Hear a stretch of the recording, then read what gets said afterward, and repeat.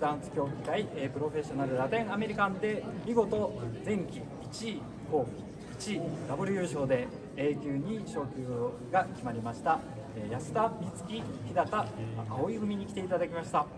今日はおめでとうございます。ありがとうございます。あの前期インタビューしましたね覚えてます。じゃあフリートーク。フリートーク。あ、そうなんです。A 級 A 級になってこう目標とか何か？A 級になったらこうなこうするの。はい、えー、A 級になってからがスタートだよといろんな先生から言われてるので、これからも気を緩めず、自分たちのダンスが向上することを第一に頑張りたいと思っています。具体的な目標はすぐに小学校です。はい。じゃあ、えー来来年の成績がねはい。再来年の成績頑張ります。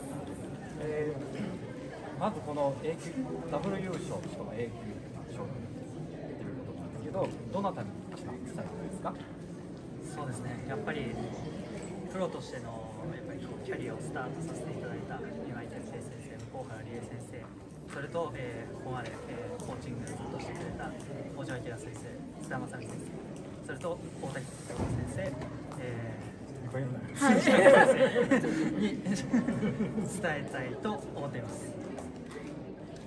じゃあ最後に画面の向こうのファンの皆様に一言お願いしますはい、えーやっと A 級になることができたんですけど、えーこれからも精進してまいりたいと思いますので変わらぬご支援のほどよろしくお願いいたしますはい。えーこれからがスタートなので、あの上にいる先輩方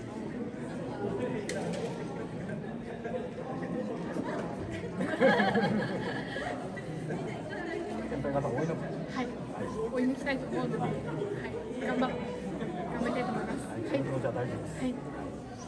はい、えー、G 級ダンス競技会プロフェッショナルラテンアメリカン部門で、えー前期後期見事優勝 A 級に昇級を決,、ま、決めました、えー安田美月、えー日高葵組に来てい。ただきました今日はおめでとうござい。ましたありがとうござい。ました